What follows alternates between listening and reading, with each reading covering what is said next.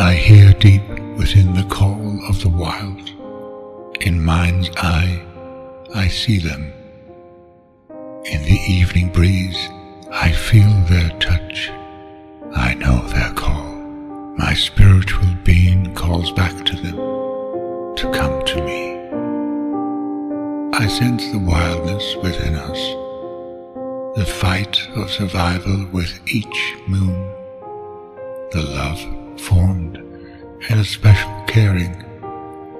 They guard me with the bounds of loyalty, as always, returned by me.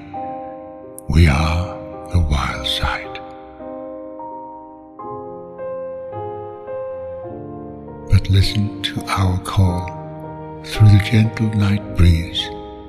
We learn with our hearts and listen with the call of nature, never turning away, belonging as one creation.